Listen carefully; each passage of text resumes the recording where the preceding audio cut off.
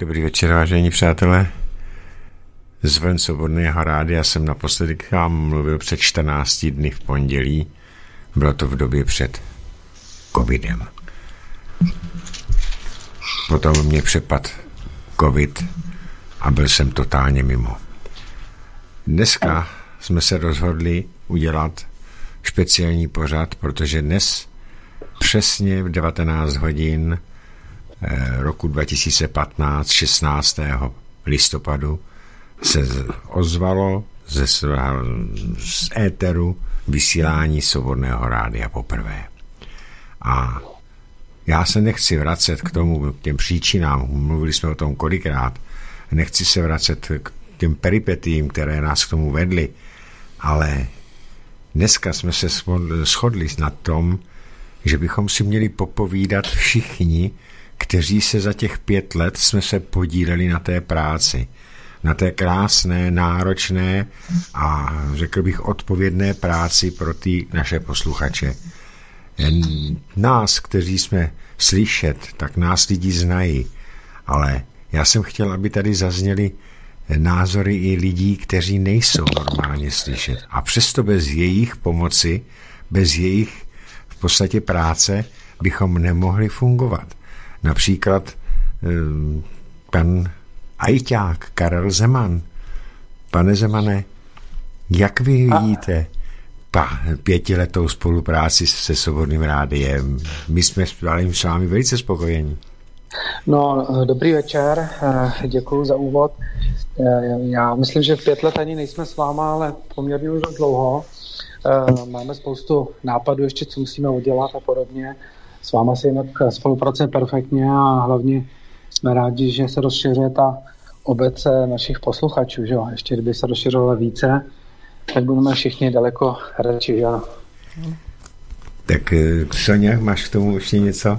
No, já s tím samozřejmě souhlasím, protože je to o tom, aby co nejvíce lidí se dozvěděli informace, které se z mainstreamu nedozvědí a aby eh, slyšeli eh, celou tu partu lidí, která tady je, a která se podílí eh, na vysílání, já říkám, je to 24 hodin denně, jo, což jako jedeme vlastně pořád takže já souhlasím s panem Zemanem, ano, a děláme, snažíme se, aby ta poslechovost byla co nejvyšší. Ale eh, víme, že ta doba vůbec není jednoduchá, že jsou tady nastaveny a snaží se nastavit parametry tak, aby právě ty hlasy, které se nehodí, aby slyšet nebyly. Takže to jako budeme si držet palce a snažit se prostě eh, tady jako v tomhle smyslu vždycky najít nějakou cestu vám, posluchačům, abyste nás slyšeli a aby jsme byli my s vámi a vy s námi. Tak to snad jenom takhle na okraj. Já bych jenom dodal, že nejenom já trpí koronavirem, ale trpí i Roman Zelený tím též onemocněním a je to člověk, který právě nám dává ty reprízy a dává nám ty, eh, říká se tomu vykrývání, to znamená mimo ten hlavní vysílací čas. Takže, mm, Romane, jak ty zvládáš ten koronavirus, protože to je něco příšerného, aspoň z mého hlediska, já jsem z toho úplně zničený. Dobrý večer, já to zvládám poměrně dobře, Eh, nedopad jsem úplně nejhůř. Jo, horší je, eh, horší dopadla manželka než já, ale já akorát pokašlávám, jo, takže vlastně eh, postarat se o ty reprízy zvládám, takže to ne, mhm, není to mhm. tak hrozný. Takže to, to jsem velice rád, protože na rozdíl od tebe teda já jsem to chytil na plný pecky a Eh, dokonce jsem byl dvakrát plně bez sebe. Myslím, bez, no, manželka, manželka ta na tom byla velice špatně, protože ona si to donesla z práce. Dělá vlastně nějakým domovým důchodcům a kam to vlastně pacient do, donesl z nemocnice Klerenský. No a tím pádem nakazila celou rodinu a takhle hmm. jsme to odnesli no. všichni. Uh-huh. Tak, Ivitko, ty jsi v podstatě takový sám voják v poli, eh, protože nebo sama vojákyně v poli, protože ty odoláváš následků nebo nástrahám všeho okolního světa a funguješ výborně. Děkujeme moc krát. Jak ty na tom jsi? Vladimírku, já tě taky srdečně zdravím a všechny, eh, se kterými jsme se tady sešli a samozřejmě i naše posluchače, tak já to nechci zakřiknout, tak ještě jednou klepu, protože to mi celkem funguje.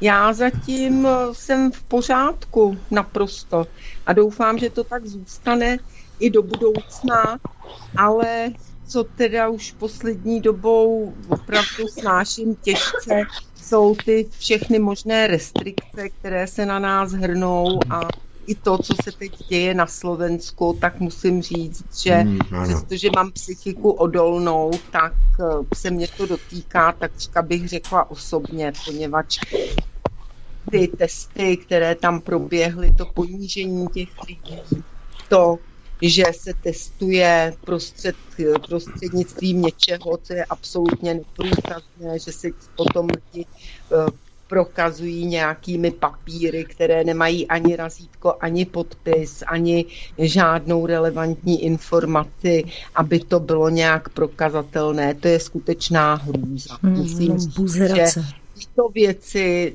snáším poměrně těžce, protože vidím, eh, kam to prozatím spěje a nevidím vůbec tady eh, u nás, že by se zvedaly nějaké hlasy, které by tyhle ty otázky vnášeli do toho éteru, aby se o těch věcech začalo diskutovat a aby se našla nějaká strategie proti tomu covidu, která bude účinná a která nebude lidi decimovat, protože ono to už decimuje skutečně i psychicky. Věřím tomu, že eh, spousta lidí onemocní, teď nemám na mysli vůbec vás, ale eh, běžně lidi, že onemocní z toho, jaký je na ně vyvinut obrovský tlak, protože je to všechno spojené se strachem ze ztráty zaměstnání a tak no, dále a tak dále. Takže já osobně prozatím znova po klepu se cítím výborně, ale musím říct, že poprvé za těch pět let se mě to začalo hodně osobně dotýkat, poněvadž je to útok na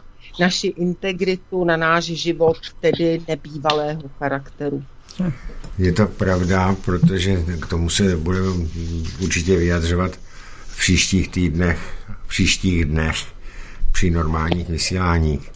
Já bych jenom teď chtěl eh, vyzvednout tady vedle nás Martina Dukáta, protože zatímco my se Soňou jsme díky dobrému příteli eh, chytli koronavirus až tak. Kamarádovi. Kamarádovi, tak eh, Martin odolává a jediný z nás teda eh, tomu koronáči dokázal čelit.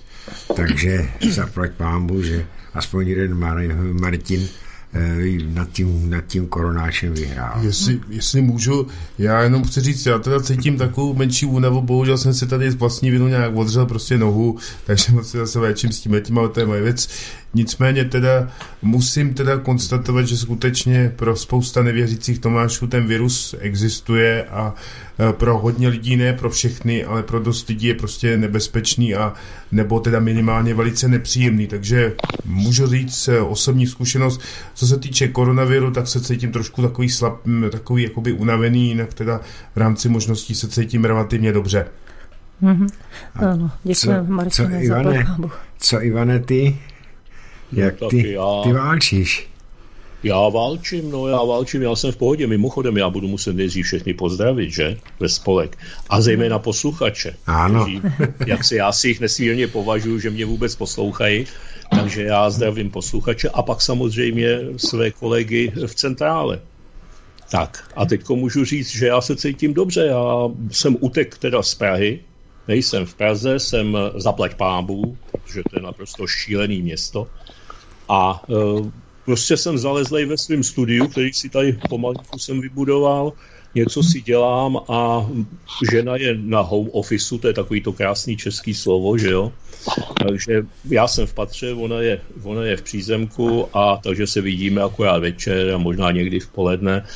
Takže si ani nelezeme na, na nervy a nemáme tu ponorkovou nemoc A oba dva odoláváme. No. Když chci ven, tak jdu na zahradu. No. Hmm, hmm. Já to mám, já to mám s tou zahradou poněkud horší. No, ne, no tak já věřím, jestliže tě to skolilo, že jo, tak mě nic není. Já se cítím prostě jako já unavený, tak jak jsem, což je prostě běžný u mě. No a potom, co jsem, co jsem byl nucený zhubnout těch 17 kilo, no tak prostě to ještě někde je znát, ale jinak je mi fajn. Eh, Senio, ty jsi byla minulý týden, bylo to na tobě, protože já jsem nebyl schopný Eh, udělat ty domluvené pořady, některé jsem mhm. zrušil, ano. ale eh, třeba Tomia Okamura, Okamuru jste chtěli udělat, tak ano. se ho dělala. Eh, Zdenka Chytru jste chtěli udělat, tak jste ho taky dělali. Biskupy. A biskupy, protože já jsem opravdu schopný nebyl. Já jsem v té době zaprvé mm, život prokašlával, takže to by se nedalo vůbec vysílat. A ty i při, přesto, že jsi měla horečku, že jsi měla opravdu ti taky nebylo dobře, tak jsi to, tak jsi to zvládla celkem solidně. No takže tak asi, kovou dolů. A když musí člověk, tak musí. Asi já to tak eh, nějak jako neřeším. A já vím, že eh, Vladimíre že spousta lidí mi i psala, co s tebou je a že jsou určitě dneska strašně moc rádi, že tě slyšejí, protože o tebe měli strach. Já jsem ten strach měla taky, zvláště když jsem viděla, že teda odmítáš vůbec jíst a že teda tomu tak jako propadáš, tak mě eh, jímala hrůza. Říkala jsem, ne, musí člověk bojovat, nedá se nic, nedá se svítit. Jo. Musíme, musíme tohle tu situaci zvládnout. Poprali jsme se s horšíma situacemi, třeba právě před těmi pěti lety, kdy jsme skočili do vody eh, s tím, že buď to se utopíme, nebo budeme plavat. Tak eh, i teďka je taková... Ano, Martin, tady Já něco chce, dodal, že tenkrát jsme byli také nemocní a bylo to teda nás taky poměrně doslyšet, vys, ano, že ty první pravda. pořady, takže se to trošku opakuje, nicméně teďka to je ve svým způsobem v některých věcech horší, že ta nemoc je záludnější. Je záludná i v tom, že vlastně člověk neví, co bude zítra. Já už jsem si vlastně tak jako myslela, že to mám všechno za sebou a dneska mi zase vyletěla teplota, tak je to opravdu eh, nepředvídatelné, co bude druhý den, ale by eh, my to přežijeme. tak já jsem hrozně... Nebo to nepřežijeme, nedá se Já jsem hrozně ráda, že jsme se takhle mohli po těch pěti letech tady sejít eh, se všemi mými kolegy, které máme skutečně moc rádi. Říkám, že jsme vytvořili dobrý tým, že to táhneme, táhneme tu káru všichni vlastně za jeden pro vás, což je velmi důležité. Já jsem chtěla poděkovat všem za kolegialitu. Je to opravdu nevýdané a za slušnost, která e, spanuje mezi, mezi námi. Ty vztahy jsou fakt jako moc pěkný. Takže to je takové obdarování a doufám, že i vy, vážení posluchači, že to cítíte z toho našeho vysílání, tu pohodu, která tady mezi náma je. Je to velmi důležité, protože to eh, nás také drží. Drží nás to nad vodou. Vladimíre, jestli... No já bych jenom chtěl říct, že ještě včera, zítra mm, nebudu dělat žádný pořad k tomu 17 Eh, listopadu, protože není co říkat. To je, to je naprosto, už jsem to říkal kolikrát, je to, je to tragédie, ale chystám už opravdu naše hosty, jak jste na ně zvyklí oslovovat a chtěl bych se um, pobavit hodně s analytiky a s politology právě co se týče uh, voleb ve Spojených státech protože tam to je velice, ale velice zajímavé. Eh, Donald Trump je naprosto v klidu, Mike Pompeo, to je jeho člověk, tak ten je v klidu, ta usmívá se jak měsíček a mně to úplně připadá, jak si říká, vy blbečci, vy nevíte, co víme vy, ale až se to dovíte, tak budete čumět. A takže jsem hrozně zvědavý, s čím opravdu Michael, eh, teda nejenom Michael Pompeo, ale i Donald Trump, s čím vyrukují. Eh, tvrdí se o tom, že tady měly být nějaký podvody, že oni měli ty, ty volební lístky měli voroznakem označeny a tak dále. No, jestli je to pravda všechno, no, bylo by to velice, ale velice zajímavé. Takže o tom bych si chtěl taky s někým z našich hostí povídat. No a budu se vracet opět k těm lidem, se kterými jsme se bavili tak, abyste e, už zase mohli mít plnohodnotné vysílání Svobodného rádia. A doufám, že to vydržím. To já taky doufám, Vladimíre, hlavně protože přece jenom si začal teď jíst trochu a uh, myslím ty síly, že se ti vrací. a ještě pomoct. jedna dobrá zpráva. Jakmile mě přepadl koronavirus, tak jsem zahodil cigarety. No. A už je nezvedneš? No zatím se mi nezved. zatím je tam taková zima. jsou tam, jsou, jsou, já budu Nestor tady poslední. Jsou tam, jsou tam na tom, já také, já neříkám, že nebudu. Jo, protože moje jedna, když jsem kdysi byl jako ještě za totality v Komárně při spouštění velké říčně námořní lodi pro sovětský svaz na, na, na, na vodu, tak eh, tam nás potom, byla to sláva velká, tak nás tam ty novináře poslali, pozvali na takovou cymbálovku, cikánskou cymbálovku, kde se tam by nějaký beranpek. E, můžu říct, že ta cymbálovka, mám rád cymbálovky. A ta, ta, ta cikánská cymbálovka, to bylo něco úžasného. Byla tam zpěvačka, která to opravdu úžasná zpěvačka. A ta cymbálovka vynikající. A tady ta cikánka mi koukala, já jsem tam kouřil, že jo, koukala na mě na tu, na, na tu ruku a říkala, panko, vy, ak vy prestanete fajčit, zomriete. tak já jsem si říkal, tak já jsem si říkal, tak já nemůžu přestat kouřit, abych nezomřel. to, je, to je fakt výborná výmluva. Ale a kolik za to chtěla? To je to tělo to tělo je na to zvyklý. No. Když je člověk kuřák celý život, tak to není sranda a když přestávat, no. tak asi spíš pomalu, i když Soňo, ty máš jinou zkušenost, viď? Ano, já mám jinou zkušenost, já jsem už měla sílu, o kterou jsem se mohla opřít. Nicméně, Ivetko, o tuhle e, změnu chuti, o které teď Vladimír vlastně, on nemá tu chuť, co měl předtím, tak e, každá ženská, když přijde do jiného stavu, tak prakticky má změněnou chuť i ty cigarety, jinak prostě třeba nemůže vůbec ani cítit, je to hnusný a hnusný. Tak pro pro ty, kteří se nedokáží představit, jak se změní chuť u koronaviru, i třeba vzhledem ke kouření, tak a, a zažili to, že byli v jiném stavu, dámy, tak to je přesně ono, jo? tak hrozně nepříjemný pocit, odporný vlastně u toho koronáče je. Tak jenom já prakticky... zase diskriminovaný. Já si neumím představit koronavirus a neumím si představit být těhotný. Já si umím představit být těhotná a neumím si představit nemít chuť k jídlu. Tak, ale to já taky, protože já mám jazyk chlupatý z obou stran. No.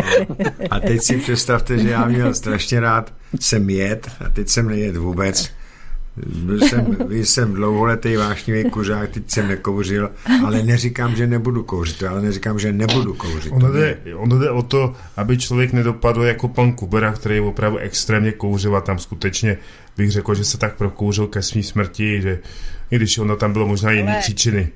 Martine, většina z nás se ke své smrti prožije ne, tak, jak tak. Ne, takže to mi, to mi je jasný. ale... Životem ke smrti, tak to je, smrt je součást života. No. Jasně, ale tak pan Kubera tomu pomohl, že jo? Hodně. No já říkám jednu věc. Člověk si nemá z toho života moc dělat, stejně z něj živý nevyvázne. Přesně tak. To je pravda. Ale k tomu... do hrobu zhuntovaní, jak víte. Já nevím, jak říkal doktor. Kouření si dovolím ještě poznamenat, přečtěte si Hrabala Pábitele, tam jeden si přivodil otravu kyslíkem a postavil jeho na nohu akorát hutný cementárenský vzduch a cigarety. No. Jasně, no, tak...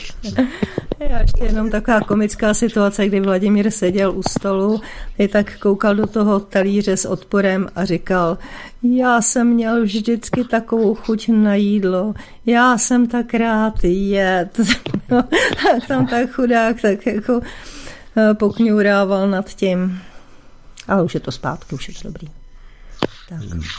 Tak přejeme brzké uzdravení vám dvěma, teda Martin, ten je geroj, že to takhle krásně zvládá. Aby vydržel. jak tobě Soni, tak hlavně Vladimírovi, aby opravdu si se z toho dostal už co nejrychlejší a aby si zase měl do všeho elán, ten tvůj, ten tvůj hm, jak se tomu říká, příslovečnej, protože to, co skutečně ty si, Vladimíre, za těch pět let ve svobodném rádiu zvládl, těch pořadů autorských a těch pořadů z hosty a de facto každý den a několik hodin vysílání, tak předtím si myslím, že všichni velmi rádi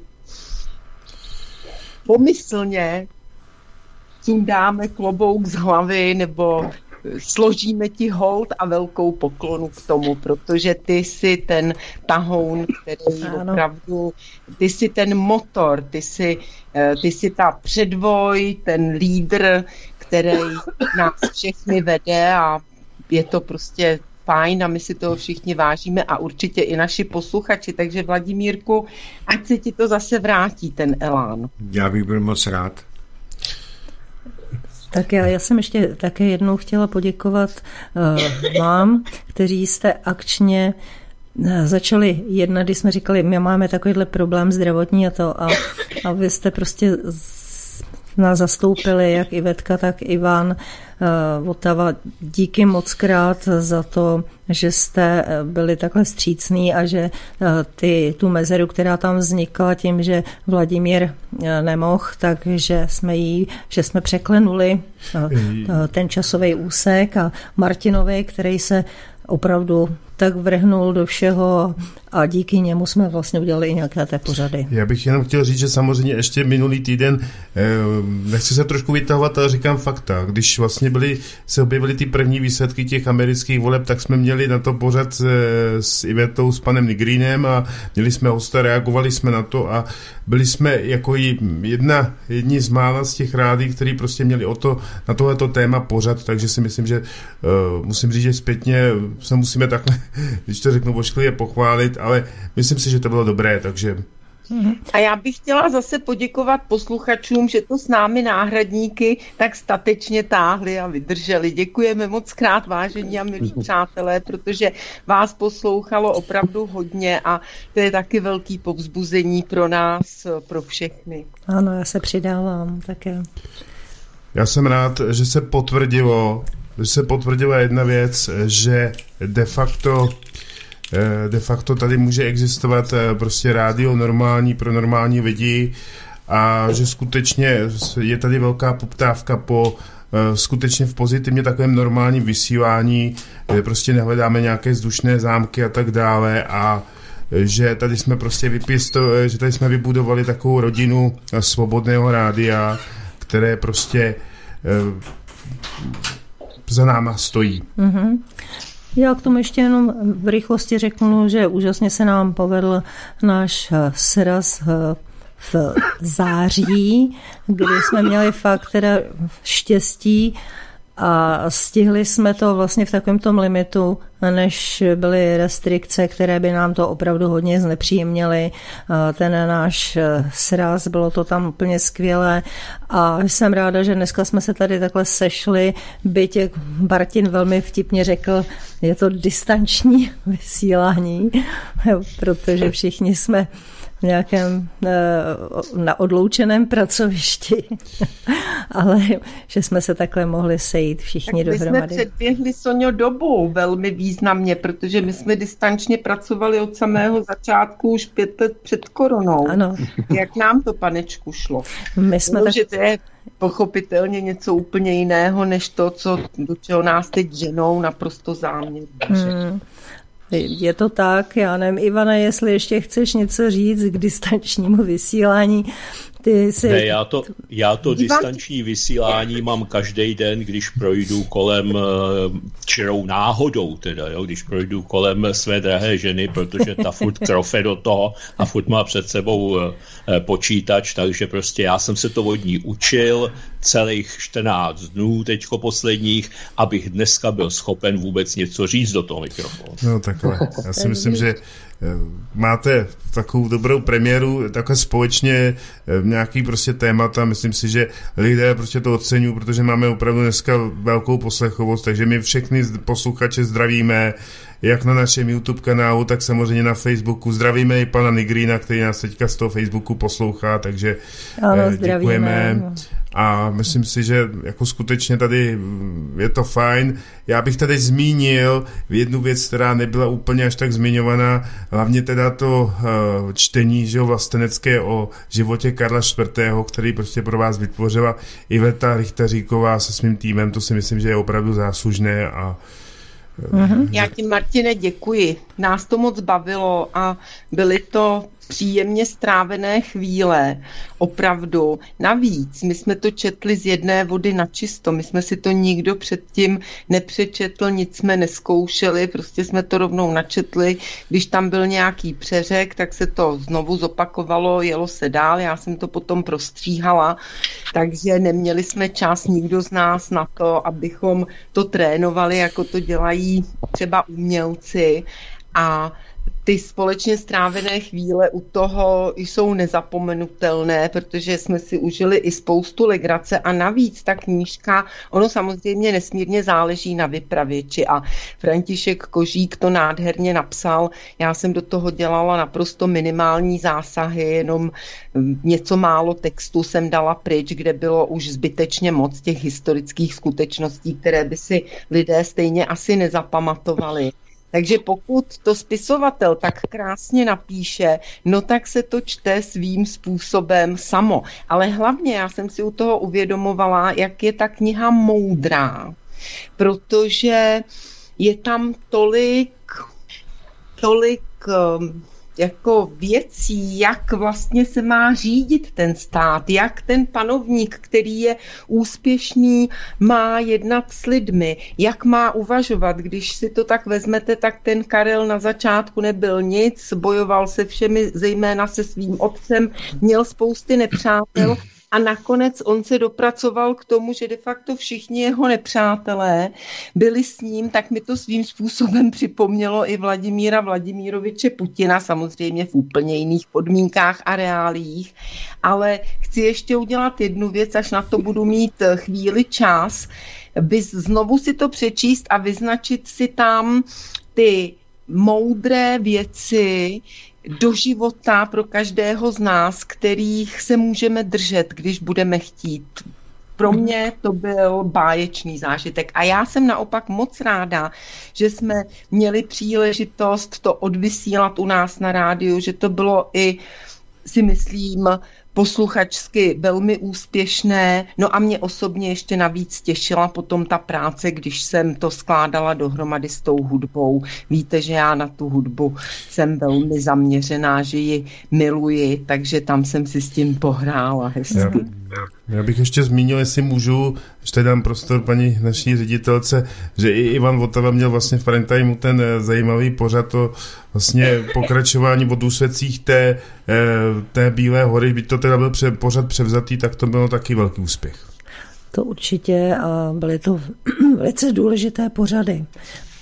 A co se týká, Ivetko, eh, toho, jak jste vlastně dávali jak jste režírovali, jak, jsme, jak jste to natáčeli, tak eh, jenom takový poznatek, že každý, kdo se zúčastnil někdy natáčení filmu nebo nějakého pořadu, tak ví, že ta práce kolem, když je dobrý kolektiv, tak je, je úžasná, poznášející a obohacující. A hlavně třeba mnohdy je to eh, jako i docela legrace, eh, co všechno se dá přitom zažít, takže to lidi hodně spojuje. To je jenom tak proto já znovu, já už jsem to říkala několikrát, ale znovu vybídnu posluchače k tomu, aby začali takto vlastenčit, protože se zblížíte, eh, v něčem se trošku poučíte, zase si obnovíte, osvěžíte nějaké informace nebo získáte i nové, eh, získáte přátele a získáte prostě chuť do života. A já osobně teď v té situaci, v jaké jsme, kdy opravdu je to velice složité u nás a naše státnost je doslova do písmene na padrť, rozpůjčená, rozbitá, tak vidím eh, v této oblasti jako stěžejní bod toho, od čeho se potřebujeme jako Češi odpíchnout. Od těch našich předků, od těch ano. našich dějin, od těch slavných dějin. To je to, co nás teď může podržet a co zároveň potřebujeme šířit hlavně mezi mládež. Čili doporučuji opravdu vřelé, je to zábava, je to utužení vztahů a je to i obohacení z hlediska znalostí. Zkrátka a dobře máš to na mysli novou dobu obrození. Ano, přesně tak. A vezměme si, já nevím, kdy to bylo, podle mě je to zhruba rok, co pan prezident Miloš Zeman k tomu vyzval lidi, respektive on úplně nevyzval, ale on v nějakém svém projevu tehdy pronesl větu, že je potřeba, aby vzniklo nové národní obrození a že se bude rekrutovat z venkova. Od té doby už úplně ticho po pěšině od těch našich vládních představitelů. Zřejmě opravdu nemohou už říkat vůbec nic, co by národ alespoň trochu povzbudilo. Mají asi za úkol ten národ pouze deptat, nebo já už si to jinak neumím vysvětlit. Ale skutečně takto to je. A je to podle mého názoru na každém z nás, jestli ten národ vydrží, to teď záleží na tom, co se prostě uděje dole v tom národě, protože zdá se, alespoň mně se to zdá, možná, že to vidím ne úplně objektivně, že ty síly, ti, kteří by nás měli zastupovat a prostě se za nás být, takže v tuto chvíli asi nemohou, nebo prostě se nebí. Nebo spíš z nějakého důvodu nechtějí, protože jsou interesováni jinak. Ne, já bych, ano, řekl, ale že, takový... já bych řekl, že to je trošičku jinak. Tak když si vezmeme historii, tak národní obrozený probíhalo ve třech etapách. Ta první etapa, tak to byli takzvaní šílenci. To byli lidé, kteří věděli, že se, že se jim budou všichni smát, že se jim budou vysmívat, že je budou považovat za blázny, ale oni zasejí to semínko a oni ho zaseli mezi ty, mezi ty venkovské lidi. Oni tam právě chodili mezi těmi písmáky, oni chodili mezi těmi kantory těch uh, škol a učili je, aby hráli ty svý divadly, divadelní hry, psali divadelní hry, pro ně psali. Ono to bylo naivní, bylo to směšné, ale bylo to české. Ano. A pak potom přišli, přišla druhá vlna. To byli ty intelektuálové, to byli ty vzdělanci, to byli ty palacké, palačtí Eh, a další šafaříkové. A teprve ty začali psát hry, které byly mm, na úrovni a které se hrály i ve velkých divadlech. No a třetí fáze byla, že nikdo už si nedovolil být nevlastencem, neobroditelem, protože to už nebylo ve fóru, to už bylo fópa, kdyby byl někdo neobroditelem. A my jsme právě ve, v tom prvním stádiu opětovněm, kdy musí ti šílenci e, se sejít a zkoušet si třeba sami pro sebe a pro partu svých kamarádů e, nastudovat Jiráskovou lucernu. Nemusí to být v obsazení úplně stoprocentní, stačí, když tam budou mít tři, čtyři role. Jo, a, a takhle se to dělalo. Já si pamatuju, že 50. letech na každém městě, větším městě, byla, bylo ochotnické divadlo. Ano. A ty ochotnické divadla, ty měly mnohdy velkou úroveň. Když se podívejme na Jirásku v Hronov, to bylo, to bylo eh, to v podstatě festival eh, amatérských divadel. divadla, v každém lese bylo přírodní divadlo. Přesně tak. A my bychom k tomu měli teď apelovat a ty lidi znova k tomu donutit a, a naučit je to. A e, můžeme udělat i, i takovou věc, že se můžeme do něčeho takového angažovat, abychom Ivane, slyšíš? Já to poslouchám, protože mě amatérský divadlo vždycky velmi jaksi interesovalo, takže, takže to, já to poslouchám a nakonec, když eh, jsem to kdysi dělával ještě, než mi kamarád, který, se kterým jsem to dělal, umřel, tak jsme se pokoušeli něco dělat s Lenkou Procházkou, no, tak no. To, to, to taky to, ale to skončilo vlastně tím, že já jsem skončil v, ve Svobodném rádiu, takže já vlastně Lence musím poděkovat. I když jsme nechali divadla, tak jsem se dostal se do Svobodného rádia. No, teď my si ten váš kus pamatujeme, taky jsme ho tady vysílali. Ano, ano. Ano, Ivetka Tak tam jsem ráda, že se na tom shodneme, protože přesně tak to cítím já a už jsem několikrát vyzývala k tomu posluchače, tak jsem ráda, že teď si mě Vladimíre podpořil a opravdu vážení přátelé, nepodceňujte to, běžte do toho. Tam to je. My jsme ti šílenci, kteří musí zas, zasít ta semínka. Přesně tak. A Vladimíre, my jsme staročeši nebo mladočeši. a nebo, že bychom byli v devěcilu. jestli můžu navrhnout, eh, můžu navrhnout jednu takovou věc. My tady máme eh, zapnutý telefon studiovi, tak kdybyste chtěli, tak můžeme pustit posluchače, jestli by teda Jo, byl jest, zájem. jestli, jestli posluchači mají zájem se zapojit do diskuse, tak klidně. Prosím, ale jenom bych chtěl tady zdůraznit, volejte na Studio Kladno a ne na Studio Beta, takže telefonní číslo do studia je 731 908 213, telefon je ještě jednou 731 908 213, a ještě jednou do třetice naposledy 731 908 213, dnes vysíláme ze studia Kladno, takže prosím, nepište, navolejte, eh, nevolejte na Studio Beta. Děkuji. Tam je Já ještě zima a tma. Teď dokončím tu myšlenku toho vlastenectví s přesahem zase do té hudby.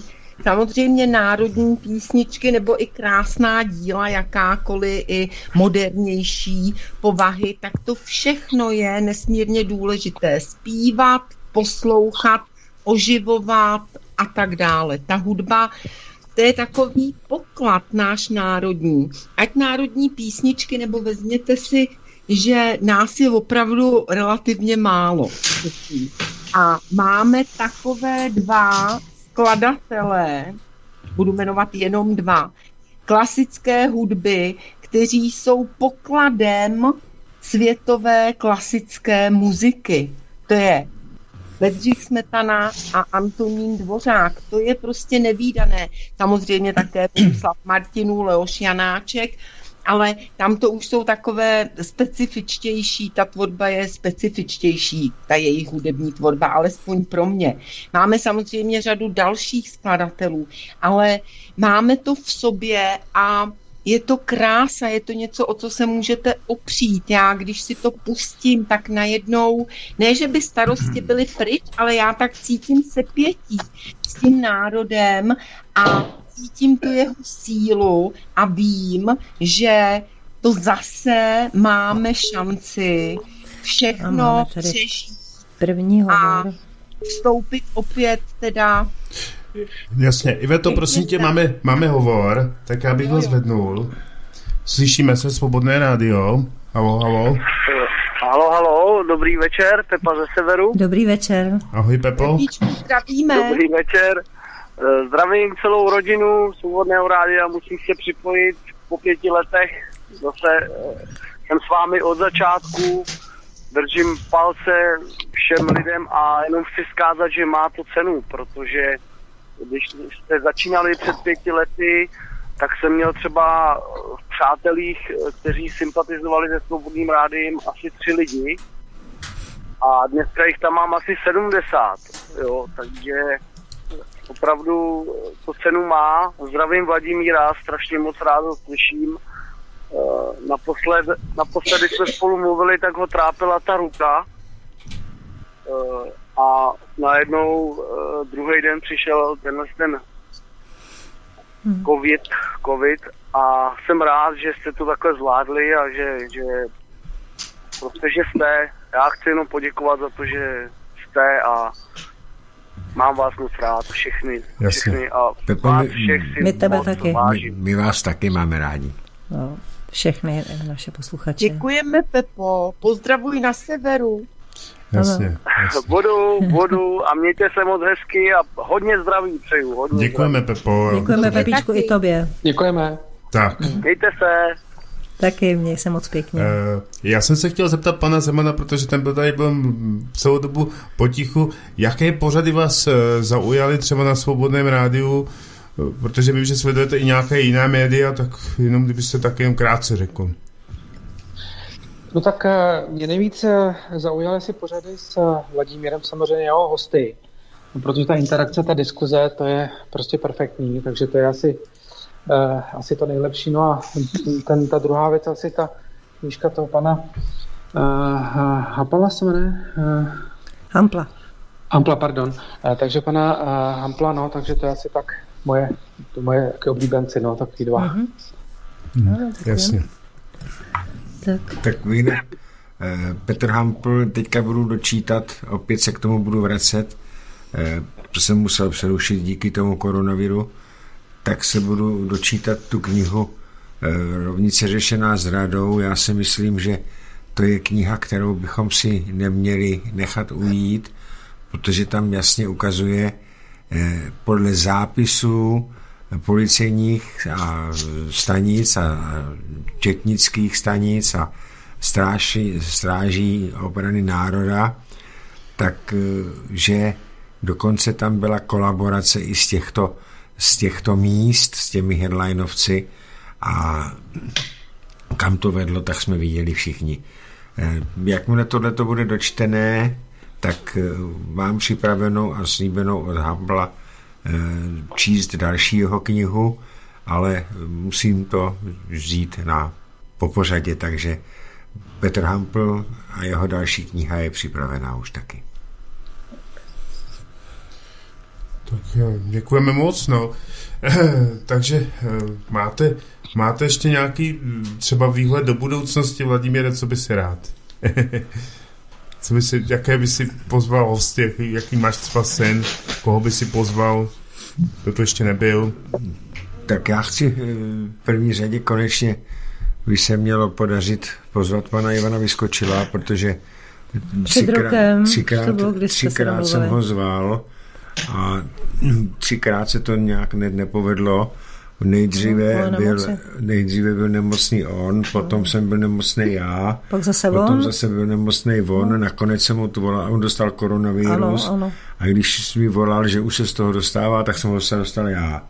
Ano, Takže, my se s ním jíme. Tak se s ním jíme, tak doufám, že Ivana vyskočila se sem podaří dostat. Uh, Jinak, co se týče těch, těch známých hostí, tak eh, všechny, všechny jsme už tady měli. Eh, teďka eh, bych chtěl, až bude trošičku ne, ne v zimě, ale na jaře, nebo bych se chtěl domluvit potom s panem doktorem Zbořilem zase. Ano. Jo, jestli by nebyl Byl skvělej po, ten. Pana po, po Skypeu, i když on zase nerad dělá po Skypeu, takže bychom to, to uh-huh. museli přece jenom naučit. Eh, takže asi takhle. Ale pan eh, Zbořil má vztah tady k tomu kraji, k Unhošti, ke Kladnu, tak já myslím, že on rád přijede. Protože no já bych to... radši po Skypeu. No tak Až to budeme v pořádku, no prostě. No ne, tam, tam, tam se jedná i o to, že teďka je hodně dlouho večer tma, brzo tma a on by musel jíst. Jasně, no. tak já si myslím, že při dobré vůle vůli se to podaří to, to naučit. Nějak se, nějak, spářka se s ním chci domluvit zase s panem. Můžete to udělat po telefonu. Boženem, ale po telefonu ne, po Skypeu. No, vím, vím. Po telefonu to je nesmysl. Jo, takže mm, tyhle ty, tyhle ty, tyhle ty uh, lidi bych tady chtěl rád mít. No a spousta lidí, kteří se tady zase uh, už objevili a už zase neobjevili, Moc by mě zajímalo, jak se bude letos vyvíjet na jaře, eh, letos příští rok, ten, ten, ten kůrovec, protože ten, ty dřevo to je něco strašného, takže eh, s panem Simonem bych si rád udělal pořád o tom kůrovcovi, protože to je šílený, co to stojí za peníze a je to záměrně dělané. No tak je to taková devastace, to je vlastně na tom, to je obraz toho, jak ta společnost vypadá, jak, jaký má priority a jak některé věci, které dřív se zvládaly, jako bylo třeba ochrana lesa, tak jak tady prostě se to pozapomnělo, úplně se na to vykašlali, protože ten mamont je, ten je na prvním místě a vlastně vůbec o nic jiného nejde. No říkám, je to obraz té naší společnosti. No a taky bych, chtěl, taky bych chtěl dostat do vysílání paní doktorku Pekovou. Jasně. Uvidíme, jestli na to, jestli na to bude jako reflektovat. Mm-hmm, no, my vůbec uvidíme, jak se to bude všechno vyvíjet. Jo. Já ještě snad bych tady zmínila jednu věc. Mnozí lidé prostě ten covid říkají, ale teď je to v mnoha případech jako bezpříznakový a prošlo tím lidí a tak jako to, že je to bezpříznakový neznamená, že to nemůžete chytit znova. A to je právě to, že lidé, kteří tím projdou velice lehce, konkrétně mluvím v naší rodině. Je takový případ mladé, mladá rodina, která si prošla bezpříznakově po testování, byli pozitivní, zasmáli se tomu, za měsíc to chytili a to už teda zase tak jako sranda není. Takže ono to není o tom, že si tím projdete a nemůžete to prostě získat znova čím lehčí průběh, tím potom snaží teda je i to, že se to znova chytí. Já jsem právě díky tomu koronáči den, denně ve styku s lékařem a on mi řekl jasnou věc. Čím je menší průběh nebo snažší průběh koronaviru, tím je menší inkubační, teda menší ta... Ta doba, kdy je doba, člověk má imunita, imunitu. Ta doba imunity je menší. Mm-hmm. Pokud ten člověk si to prožije, tak jako to prožíváme dneska my tři neděle, tak ta doba imunity trvá mezi třemi až čtyřmi měsíci, když to, když je to bez, bez toho, bez příznaků. bez příznaků, tak tam hmm. není skoro žádná, anebo jenom tak týden, deset no, dní. To, co jsem mluvila, no, takže, případ naší rodiny. Ano. Takže tady u nás my bychom měli potom být trošičku delší dobu imunitní, ale není vyloučeno, že se zase potom můžeme nakazit. Ale víš, co mě teda fascinuje jedna věc, eh, každém případě se jedná o velmi nepříjemné onemocnění, eh, kterým onemocnilo už miliony a miliony lidí. Všichni vědí, kdo za tím stojí. Vyník je jasný. A přesto se tady bude všechno házet na lidi, lidi se budou mezi sebou hádat a nikdo ne, neřekne, to jsou oni, to jsou ty masové vrazy, za nima jsou tisíce lidí, kteří museli zemřít právě protože třeba měli nějakou nemoc. To jsou ti, kteří za to můžou, v jaké my jsme teďka mizerii ale to nikdo neřekne. A ti naši představitelé, ti těm, kteří za to můžou, že vůbec tohle to vzniklo, že tak oni jim ještě lezou do zadku, ještě se s nima bratříčkují. To jsou prostě zločinci, kteří můžou za to, do čeho se svět dostal. A tito lidé na ty nikdo nechce ukázat prstem. Tak na ně ukazujeme my. Jedná se o Billa Gatese. Především Bill Gates. Fauci. Je, Fauci. Ale především Bill Gates je za vším tím, eh, co se týče koronaviru a těchto těch, jeho, těch jeho Belindou, vakcín, Belindou. Jo, těch jeho vakcín, který chce povinně celý svět s nimi vakcinovat, protože... Poníže celý svět. Protože ten svět potom byl totálně zničený. Uh-huh. Je to ano. Bill Gates a Bill Gates by měl Jsou to být globalisti, souzen. je to deep state, je to tady ta verbež, která nenávidí lidi, nenávidí vaše děti, nenávidí ty, ty děti, které se ještě nenarodily a co je za nima, to jsou tisíce a tisíce dětí zmrzačených ve Spojených státech. A nejenom tam, ale i tady všude ty vakcíny, které se sem dovážely ze Spojených států a, a lidi je obdivovali jako to je z toho západu, to je úžasný z Ameriky a pak to dáte dítěti a to má celý život následky. Takže takováhle verbež tam je nahoře, ale nikdo na ně neukazuje. Já bych řekla, že teď je velká šance, že pokud vyhraje Donald Trump, což všichni doufáme, on rozhodně vítězem voleb je a to asi tak poměrem 80 k 20, ovšem otázka je, jestli to prokáže, Prokáže, jestli no. všechno půjde tak, jak bychom si všichni přáli, tak je tady velká šance, že na ně ukáže právě Donald Trump. On eh, tweetoval ještě před volbami, že 4. listopadu, tak to zase přeháněl, známe ho, že eh, že zarazí koronakrizi, jo, v tom, v tom smyslu, že prostě řekne, jak to bylo a stejně tak můžeme doufat, že postupně dojde k pozatýkání a pohnání k odpovědnosti i dalších zrůd. Oni jsou to ty samé zrůdy pořád, které stojí za únosy dětí a jejich mučením a tak dále. Ani to nechci opakovat, co všechno dělají, všichni to vědí. Takže Donald Trump, my jsme ty, který tady můžeme ukazovat teď, ale doufejme, že Donald Trump vyhraje a že se to pohne. Bude to Tak. ale ještě boj i tak. Máme tady Můžu k telefon. tomu něco dodat? Ano, můžeš, Ivo. Dobře, já No, telefon, nejdřív telefon. Dobře. Dobře, dobře, dobře. Tak, eh, slyšíme se, Svobodné rádio. No, dobrý večer, prajem, tu je posluchač zo Slovenska.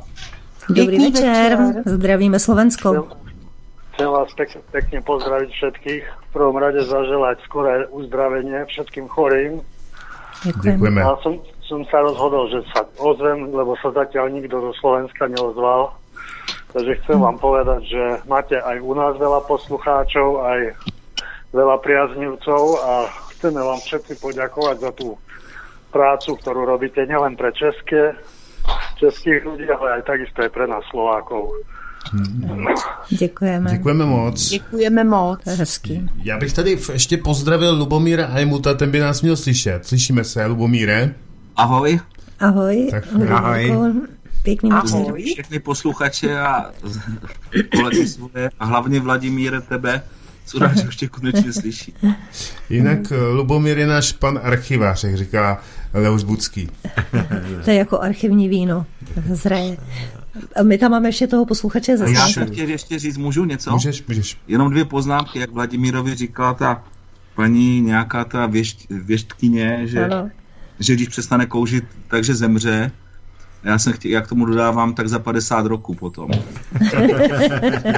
A potom ještě, jak jste se bavili ty mladočeši, staročeši, tak my jsme tedy ještě mladomoravané. Ano, ano.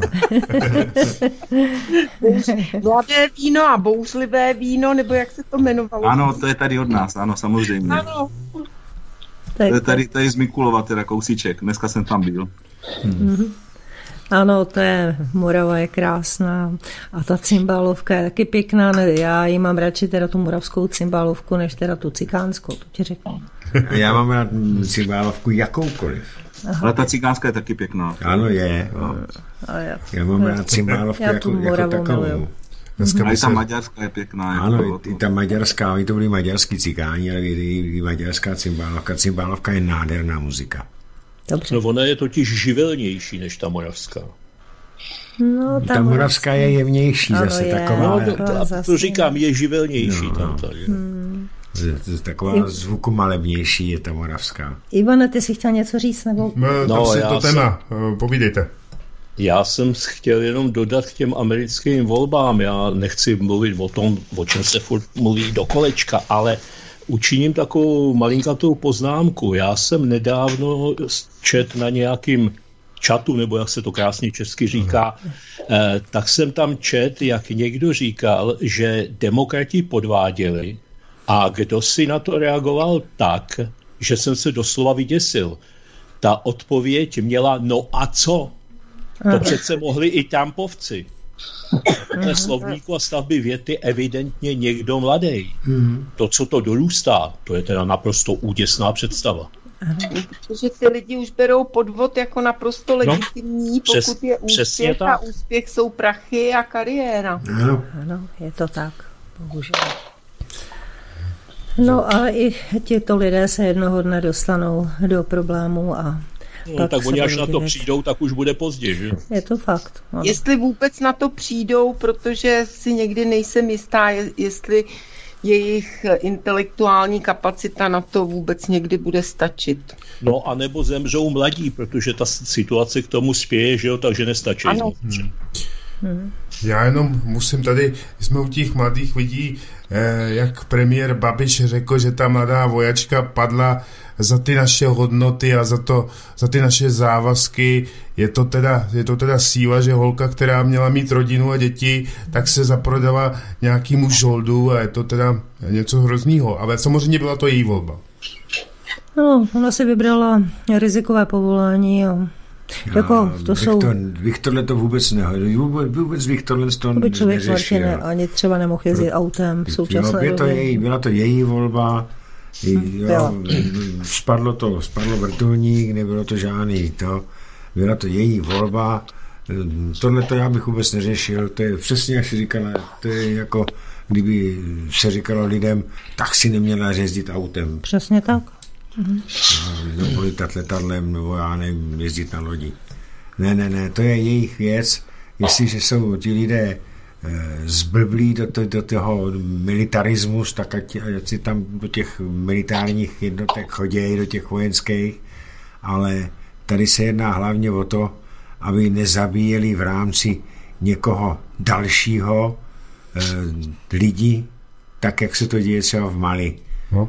Jo, tam to je, to je daleko větší svinstvo. Tahle ta, ta byla jako, jako nějaká monitorovací jednotka na tom Sinajském polostrově a spadnulo, spadnulo to letadlo nebo ta vrtulník. Takže je to, je to, Možná, že měl Možná, že měl Martin na mysli to, jak vlastně za těch 30 let Ano, ta to jsem měl. společnost je zmanipulovaná tím, že i ženy, oni byli vždycky v armádě, že Vždycky jako třeba a tak dále, jak, ale že teď chodí ty holky přímo do boje a to je zase výsledek propagandy, to jsou různé ty filmy, například Demi Moore, jak někde, já nevím, jak, se ten film jmenoval, ale zkrátka ta americká propaganda to hodně propagovala, nebo třeba i taková opravdu pěkná komedie s Goldie Hawn, jestli si pamatujete, jak tam hrála tu vojandu. jo, No, to, o Jo, tom jsem jak- mluvil, to jsem měl na mysli.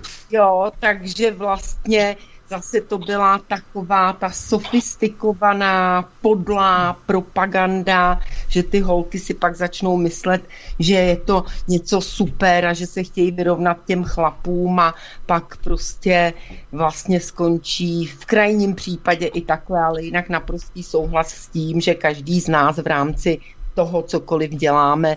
Zkrátka život je rizikový. Vyjdeš ven a je to riziko. Zůstaneš sedět doma, trefí tě šlak, taky riziko, takže s tím se nedá nic.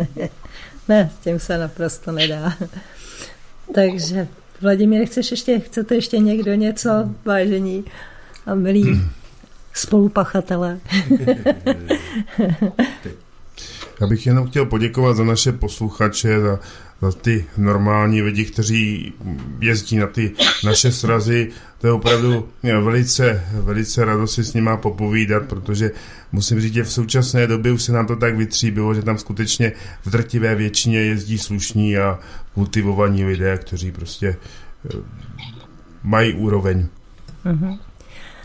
No a tak já pomalinku na závěr našeho pořadu bych tak symbolicky zvedla skleničku s šampaňským, která bohužel ji nedržím, nemám šampaňský, ale tak si to představte, vážení a milí posluchači, milá rodino. A tuto uh, sklenici šampaňského já zvedám a připijím na vás, na naše uh, milé posluchače, na naší rodinu, na moje všechny kolegy, eh, na vás, na všechny, kteří se podíle, podílíte na vysílání Svobodného rádia. Já vám připijím na zdraví a na to, abychom se tady zase za rok všichni sešli a abychom si už mohli ťuknout eh, skutečným šampáněm a skutečně se radovat z toho, že máme zase jeden rok za sebou. Já myslím, že určitě Vladimíre, chceš něco? Já bych chtěl jenom přát nám všem, jak jsme se tady sešli, aby nám vydržel elán. Protože pokud nevydrží elán, pokud nastane syndrom vyhoření, pak člověk může dělat cokoliv, ale už ten plamen nezažne. Takže bych chtěl, aby nám ten plamen, vnitřní plamen, přesvědčení, že děláme pro tento národ to dobré, tak aby v nás plápolal neustále stejným silným plamenem a aby, aby rozšiřoval a zapaloval to národní povědomí eh, u více a více našich posluchačů, u více a více lidí, tak, abychom přece jenom ten náš krásný národ, naši nádhernou řeč, nádhernou krajinu, abychom zachovali pro ty naše budoucí generace. Já si myslím, že je určitě o co bojovat a že budoucnost není dána. Ano. Vážení, jestli chcete, Ivane, Ivetko, ještě něco dodat. Já myslím, že Vladimír to řekl tak pěkně, ano. Že nemám už co dodat, jenom ještě poděkování i ode mě všem našim posluchačům, všem našim přispěvatelům za to, že můžeme být alespoň takto distančně, jak se říká moderně, že můžeme být spolu a že si můžeme vzájemně dodávat sílu. Ivane? No, já se loučím, jsem rád, že mě někdo vůbec poslouchal, ale eh, chtěl bych se rozloučit eh, citátem eh, George Santayany. Ten, kdo zapomene na svou minulost, je odsouzený znovu prožít. Ano. Ano. Tak, eh, pane Zemane, jestli můžu? No, já bych snad akorát doporučil, abyste šířili informaci o eh, svobodném rádiu mezi lidmi, co neznají svobodné rádio, co nejvíce, protože jenom vlastně tou informací můžeme efektivně bojovat. Čím víc lidí dostane tak trochu rozum, bych tak řekl, tak eh, tím to bude snažší. Mm-hmm. No, ale, Děkujeme, ano. Lubomíre? No, tak já všechny taky zdravím a myslím si, že moji předřečníci to řekli všechno. Takže mějte se. A ještě tady máme Romana. Romane? Já si myslím, že, že to vystihlo vlastně celou, celou tu, ten problém vlastně s tím virem a s tou nákazou a celý, celý tohleto, že že k tomu není co dodat. Jasně.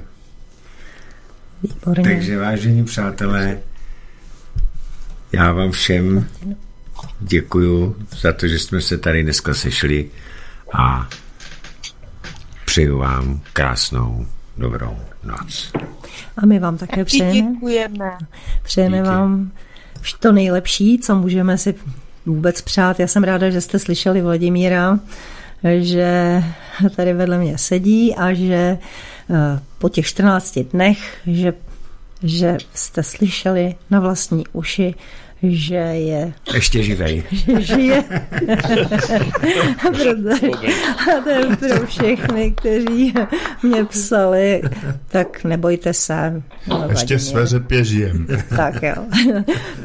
Přejeme vám to nejlepší. A jak jsem říkala, příští rok to bude 6 let a já doufám, že se tady zase všichni ve spolek uslyšíme. Mějte se moc fajn. Od nás je to všechno, ode mě. Taky. A samozřejmě děkujeme všem našim kolegům. Děkujeme. Ano. A, Taky děkujeme. a děkujeme za podporu. Naschle. Naschle. Naschledanou. Tak. Naschle. Naslyšenou.